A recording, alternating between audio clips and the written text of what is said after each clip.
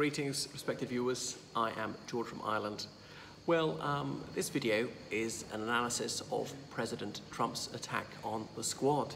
That's the four Democratic uh, Congresswomen. Um, so it's just a couple of days ago since President Trump invaded against them, and I shan't um, quote everything else he said. It's, um, it's been quoted extensively elsewhere. Um, it's difficult to keep up with him, and it's just wearisome um, reporting as constant screeds. Obviously, I'm not a, not a wire service, so I can't be up to the minute, just trying to do commentary. Uh, uh so it was staggering that uh, Trump had the nerve to suggest that these women ought to leave the United States. Three of them were born in the United States, born citizens. Another one came to the United States at age 12, is a citizen, and all the rest of it, saying that they should get out of the country. He never says that to whites, but it's this whole America love it or leave it attitude. Um, why am I commenting on American affairs? Well, you know, I, I'm concerned about the human race as a whole. Please comment on the affairs of my country. So uh, the US government, including Trump, he very often um, pokes his nose into the domestic affairs of other countries. I don't actually object to that, but uh, the thing is, what sauce for the goose is sauce for the gander, is he mustn't take exception when other people um, uh, have something to say about American politics and obviously the United States is the most consequential, consequential country, so you can set the tone for racists around the world. So um, why does it matter that, that um, their parents or grandparents came from another country? Now, apart from Native Americans, everybody came somewhere from somewhere else. Okay, even Native Americans, you want to get back 10,000 years, came from somewhere else. But what's the difference between a Mayflower descendant and someone who becomes an American citizen today? There's a difference of, of degree, it's not a difference of principle. Um, so whatever happened to equality? So, so, you know, no distinction of race, creed, or color. So it's shocking. It's, it's blatant racism. And of course, uh, his, his claque will say it's not racism at all. Um, so someone whose ancestors have been there since Jamestown, surely they are no different from someone who becomes a citizen today. Um, anyway, Trump has excelled himself. Uh, he's always striving to outdo himself in terms of illogic and spite. Uh, this is a personal best for Trump, but we'll see whether he can uh, exceed that. Uh, and it's really saying something to call this a personal best. Um, saying that they hate America and so on, vile, ludicrous. And then accusing these, these women and Nancy Pelosi of foul language, and then when, of them has ever used foul language, he's often used foul language, beat the shit out of them and so on, grab them by the pussy and so forth and racism. I don't know when these people have ever been racist at all, and they ought to apologize to Israel. I'm not sure what, not doing exactly what the current Israeli government wants. Israeli policies are highly controversial in Israel. Israelis don't apologize to Israel for not agreeing with what the Prime Minister wants right now. Should Trump apologize to Palestine for not doing what they want? Well, he should actually, but that's a, that's a whole other issue. So Trump has been censured by Congress. When's the last time that happened? He is depraved, and there is um, so much ado about these vile remarks, and rightly so. But it's deliberate. There is a method to his madness. His remarks are a verbal burning cross on the lawn of various uh, ethnic minority communities, becoming very intimidating for them, creating a hostile atmosphere for Americans of certain ethnic and religious groups. These mordant comments, they are bound to uh, inflame uh, racial animus at this time. Uh, and then Trump had a characteristically wrathful response to these women defending themselves. So what is it about a strong woman that he finds so threatening? He's obviously a coward. Um, go back, tell him to go back. Why on earth should they go back? And look at Trump. His mother was from the United Kingdom. His parents are from Germany. No reason that he shouldn't live in the United States just because of that. Um, saying that their countries are failing, well, they vary. Now, it's true, actually. Well, strictly speaking, um, oh, what am I talking about? Yeah, sorry. AOC, she was born in the United States, New York. Okay, her parents came from Puerto Rico, which is a US territory, not a US state. But since the Jones Act of 1913, the people of Puerto Rico have automatically been US citizens. There's absolutely no question they have an absolute right to move to the United States itself, just as people from the United States can move to Puerto Rico, because they've got common citizenship. Um, say that these countries are failing. Well, it varies. I don't think Puerto Rico is failing. They had a terrible hurricane, and Trump didn't give a damn about that um, is far more eager to spend time uh, spreading hatred towards ethnic minorities than he is to help American citizens who are suffering. And um, Somalia, yeah, it is a difficult situation, but I'll, I'll, come on to that.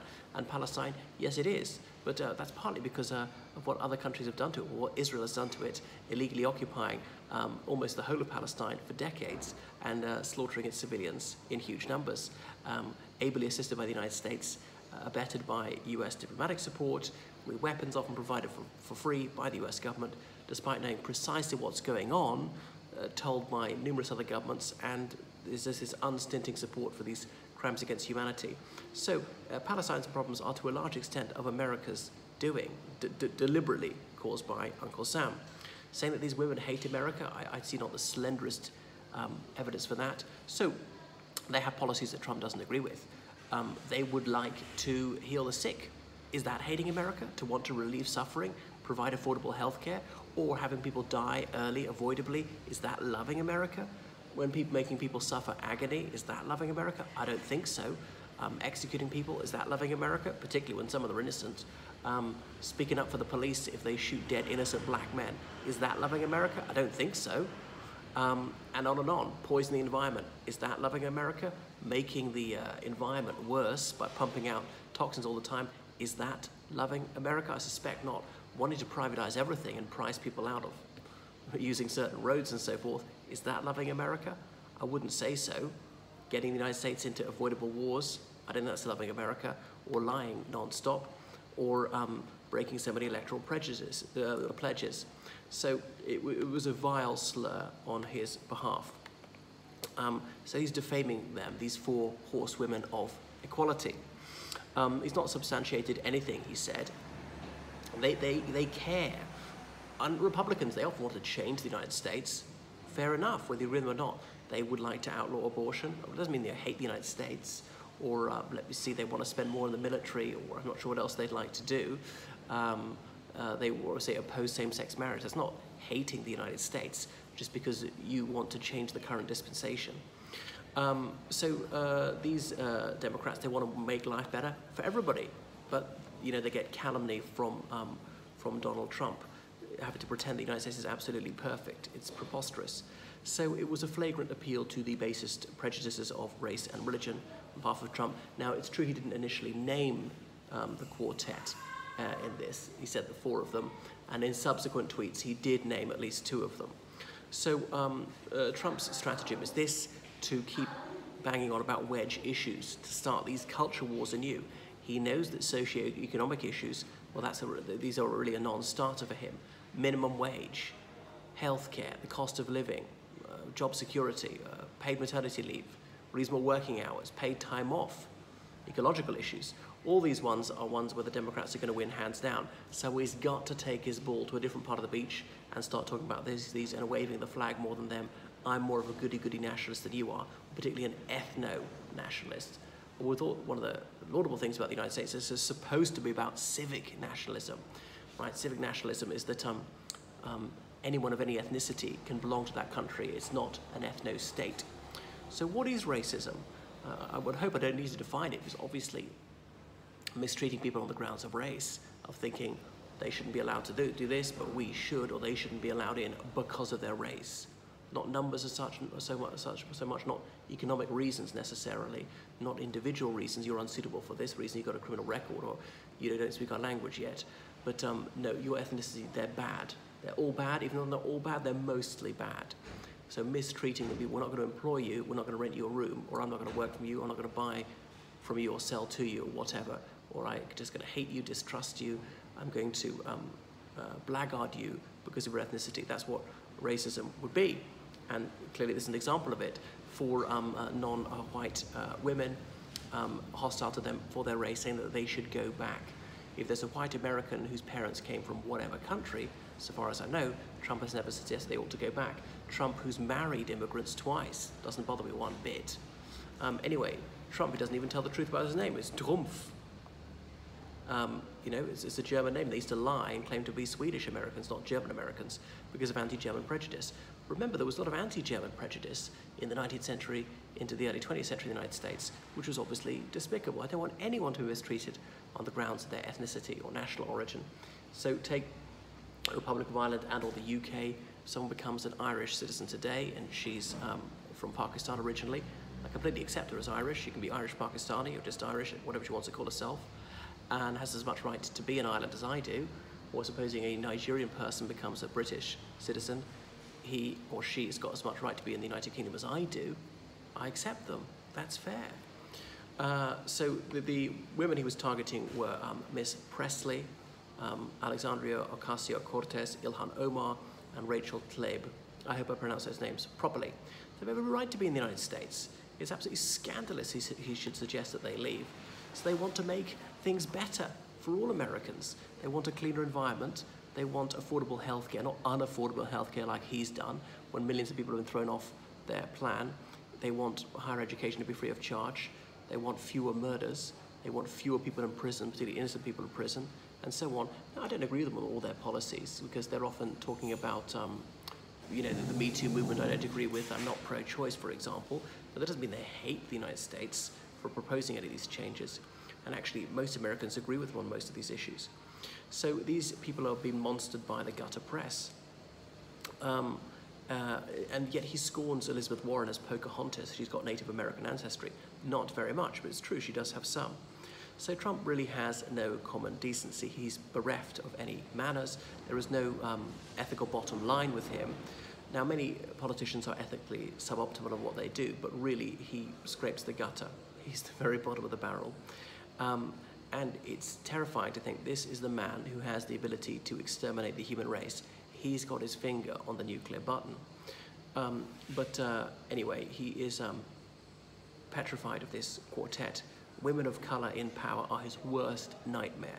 So I think we should, um, they should obviously vote a lot more uh, ethnic minority women into high office. Um, anyway, these women are as American as, any, as anyone else. And then MAGA, remember his old uh, slogan, Make America Great Again? Was that hating America, suggesting that it wasn't great in 2016? So Trump is obviously um, very in with the hate groups. He couldn't even bring himself to denounce the KKK, a terrorist organization, which only 20 years ago was uh, murdering innocent black people, and still tries to glorify those uh, sick ritual murders. Um, so he's obviously been endorsed by neo-Nazis, by the Daily Stormer and so forth. So he's incited rallies, uh, sorry, violence at his rallies, and indeed it's occurred. He's been aware of this, been on the news, he's continued to incite violence, and it's continued to happen. That's hating America, encouraging crimes of violence against other Americans. Uh, Trump, uh, he's um, constantly lying, he ignores subpoenas, he breaks the law willy-nilly. It is baffling. How on earth does he get away with this? So um, anyway, uh, he exports jobs. He had a lot of his merchandise manufactured overseas as he married foreigners, as I said. So he's obviously a complete hypocrite. But obviously, some uh, some knuckle-dragging people are stupid enough to trust him. Um, he calling people enemies of the feet, people talking about uh, respectable news organizations as being fake news, despite him pumping out fake news every day, and it's always turning it around. It's the language of the playground. I know you are, you said you are, but what am I? Then accusing Nancy Pelosi of foul language and racism when there's um, not a shred of evidence of that at all. Um, so uh, Trump adores America's foes. Well, Confederates, and they're very fine people. Those are pro-Confederate in Charlottesville. Um, and uh, on and on, speaking up for Kim Jong-un, President Xi, and, and, whoever else. So he is blatantly racist and xenophobic. Um, and he was saying the UK has got, a, has got a rubbish government. Well, it doesn't want English Americans, Irish Americans, Welsh Americans, Scots Americans to go there. Uh, and by the way, Puerto Rico, where AOC's parents came from, is not a state in the United States. Why not? Ten years ago, they voted they want to become a state because Congress won't allow it. I suppose the Republican Party, no, it'll be two more senators for the Democrats and about four more representatives. So um, anyway, talking about Somalia, where Ilhan Omar was born, yeah, it faces problems. Had a US military intervention, Operation Restore Hope. Did it make it better or worse? It's debatable. Ilhan Omar is not responsible for that and she's in America, she's got the right to be there. The United States has an impact on the rest of the world. By helping the United States, she could possibly help Somalia, promote good relations between the two. Women have very few rights in Somalia. There is this breakaway section of Somalia called Somaliland, the, the erstwhile British colony, where things are much better. Perhaps that should be recognized as an independent country. But um, there's no reason why Ilhan Omar shouldn't stay in the United States, make a better life for herself. And I don't see any evidence that she's not grateful to be there. She's serving her community by getting elected.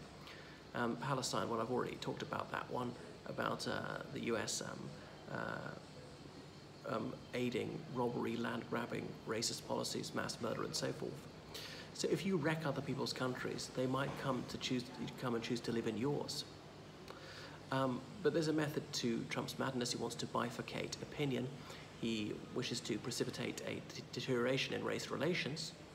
And that, of course, that worked for him in 2016. Some white supremacists were irate about the election of Obama. Um, so it's, called a strategy of tension. Um, some Italians were trying this in the 1970s. So uh, mark my words, Trump will be, will be stri striving to um, stoke racial tensions in the run-up to the election, heighten white, white anxiety in 2020. He, he considers this will, will um, ginger up his base. Um, so yeah, they'll be all fired up by this and that, by bogus stories of Islamic extremism and so on. And he thinks this will motivate his core supporters. Although it will boomerang, it'll have a like effect on, on his opponents. There's a, there's a demographic decline of whites and Christians, which some white Christians find terribly troubling. So Trump may be their last stand. So he wishes to play to their fears and, and prejudices, terrify them. And so, um, but this is the future of the US, get used to it. White minority or majority minority. Um, so, uh, because there's going to be more power for ethnic and religious minorities. So you should make your peace with them, kiss and make up, and, and, and get used to it. No one's saying it's not going to happen. So partly because fewer, fewer Christians are born, as in brought up Christians, but fewer people actually practice Christianity, people are dropping out of it. So publicly funded healthcare, was so scary. That's another thing you can frighten them with. You might actually not have to pay anything extra, just your tax to be, to be cured. So some people would prefer to die in pain than have that. So Trump is trying to appeal to the past um, and reactionary sentiment, bring backery. That's one of his tactics. But his agenda is dark about um, pitting Americans at each other, setting them at each other's throats, and having all these completely regressive taxes to, to fund the billionaire class, his cronies. Um, so stoking racial animus and, and spewing invective um, paid off for him so handsomely last time. It may not work this forthcoming time. Um, so he has to resort to identity issues because, as I said, bread and butter, issues not going to work. Kitchen table politics. How are we going to afford the things that we need? Um, we need to be always be paid more. Things need to cost less, and Republicans aren't doing anything about that. So it is, as we hatred of foreigners, scapegoating them, the other.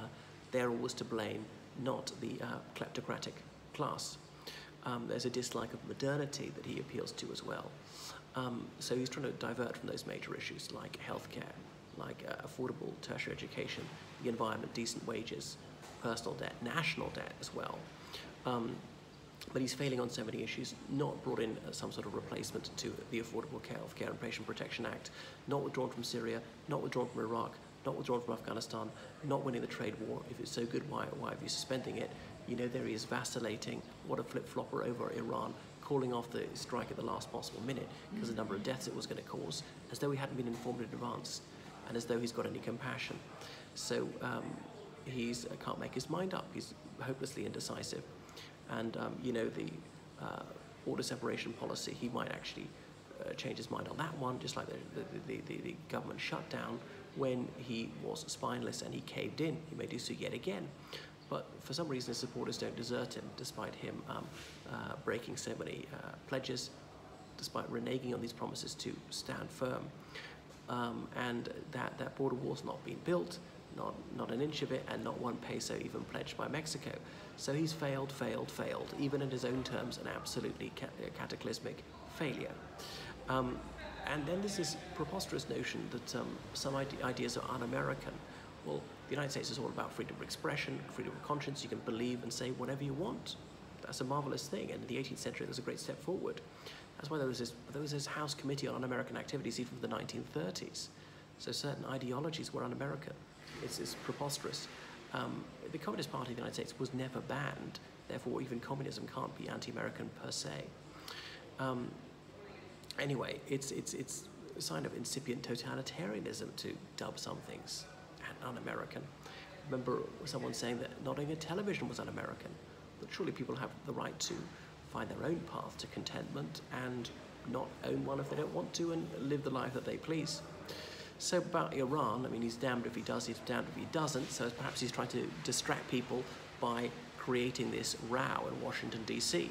Okay, um, Tucker Carlson, his guru, told him not to do it. It caused a spike, uh, spike in oil prices. Remember that 2003 bumper sticker of Republicans kick his ass, get the gas. If Americans are feeling the pain, um, you know, at gas stations, that will not look good for his election, his chance of being re-elected. Um, but he's marched his troops up to the precipice of war. If he backs off now, he's a weakling. Well, uh, we know he's a wimp in, in, every sense, and so he might try to prove his uh, virility by killing thousands of Iranians. But if he does dust Iran with canister, what's going to happen? It's not really going to be a success, is it? All they have to do is string the war out, and America will eventually get tired and go home. Iraq and Afghanistan and other places have, have proven that. So the Iran deal was working. Iran was in its box. The US government knew that. The IAEA said that. Trump twice signed off on the deal. He extended the Iran deal by over a year, and then, and then he, he tore it up. So the Iranians are obviously absolved of their commitments, and now they're proving that the old deal was better because they've now enriched some of uranium, which they didn't do before. Therefore, we're all worse off than we were before. Iran is actually now closer to a nuclear bomb than it was before um, Trump shredded the deal. So it's boomeranged. It's been a massive own goal by this absolute imbecile. Um, Iran is obviously absolutely entitled to enrich uranium, as dozens of countries have done, to civilian nuclear power. And they've always said that's all they want. Um, the US does the same. Uh, they've got nuclear weapons, they've also got civilian nuclear power. So the situation um, is uh, now so much worse than before. Somebody bombed those tankers in the Gulf. I don't know who. Could be a false flag, trying to provide a pretext for war. Israel's egging him on. Mossad could have done it. I, I don't know who did it. So um, I don't actually think Trump is a racist or an anti-racist because he doesn't believe in anything. He's an egotist, believes only in himself. Um, he's appointed some black people to the cabinet. I don't think he's appointed any Latinos. But um, uh, I suppose Ilhan Omar, having been born in Somalia, that's what gets him. Someone who's a typical African American, I don't think he minds as such. I could be wrong, but he'll simply appeal to racist prejudice if he thinks that will further his agenda. Well, the only item of the agenda is his own aggrandizement. Um, so he thinks he's somehow magnified for this. Um, anyway, that's why his rhetoric is larded with all these um, allusions to the supposed evil of immigration, even legal immigration. Um, anyway, he is so uncivilized. Uh, and what's more troubling is his party has not denounced his nauseating outbursts. Um, so the Republican Party is obtuse in thinking this is going to work for them. Um, I remember it was Lyndon Johnson said you need to be able to count. That's the first rule of politics because they're going to have to rely on ethnic minority votes more and more. Um, but it might still work in 2020. Uh, but in the long run, what's going to happen, as I say, a non-white majority. So away down south in the land of cotton, bad old times, they are not forgotten. They're not getting enough African Americans on their side. Um, let alone Hispanics. They do have a considerable number of Hispanics, very few African Americans. Um, so some Republicans are very um, stubborn to recognize they can't rely solely um, on whites. Um, they're not quite enough ignorant, ignorant, bigoted whites for this to be a winning stratagem for them in the long term. But some are very stiff-necked on racism. Even if they lose an election, they still do it. Does the Republican Party approve what, approve what he's saying? Well, I'm afraid this is affirmative silence. By saying nothing, they're effectively saying yes there have been a few honourable exceptions who've um, denounced his vile outbursts. So the Republican Party doesn't have a moral compass as part of a wider malaise in the party, mollycoddling racism.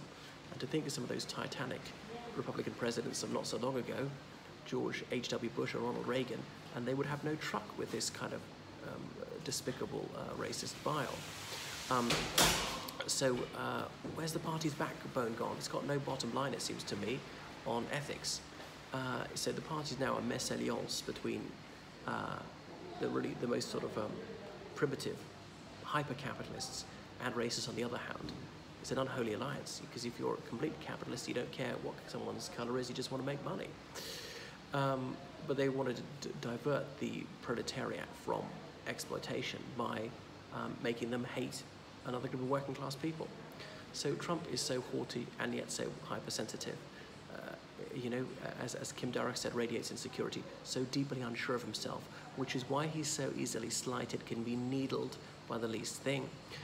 And his refractory period between these incendiary outbursts is getting shorter. One will be very quickly followed by another.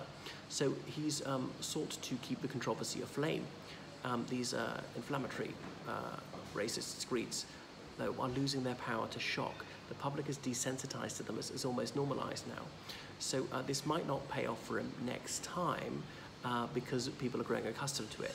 He's seeking to heighten asperity and, and um, remember where you heard it first. He'll do a lot in the run up to November 2020, just as another caravan will suddenly be spotted at the opportune moment making its way through Mexico. So he has degraded uh, political debate into um, mudslinging of the worst kind, and uh, his opponents don't sink to his level. Um, they're not calling him childish things, generally speaking. They're debating him on the uh, substance of issues. So he um, is unashamed in espousing racist views and then will lie about that.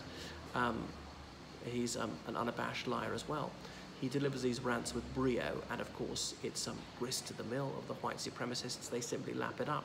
And now they're chanting the rallies, um, send them back, uh, which, which he doesn't uh, disapprove of. Um, he doesn't even have the, the uh, uh, courage to say, yeah, I am a racist. I mean, if he was one, to be honest about what his, what his strategy is. As I say, I actually don't think he is. He's not anti-racist either. He'll just say anything. Um, but it may um, backfire on him because it's adding vim and vigour to the Democrats. Um, they are more determined to ever, than ever to unseat him. So um, the Democrats are trying to rise above it and be the adults in this conversation and uh, not to follow him down into the gutter. So, uh, as I say, a handful of Republicans have, have distanced themselves from this um, divisive and nauseating rhetoric. So he wants to uh, cause conflict at home. He's um, really increased asperity in American politics. Uh, anyway, contrast this with Independence Day, which is supposedly about national unity, bringing people together. Wasn't a partisan thing. Well, nobody told that to Democrats, sorry, to, to Republican supporters. You see them with Trump 2020 banners and um, MAGA banners and so on. They viewed it as a Trump rally, the first stop in his uh, re-election campaign, and they were right. That's what it was about. So, tell me this: is, um, is heightening hatred of ethnic minorities in the United States, is that working towards a more perfect union?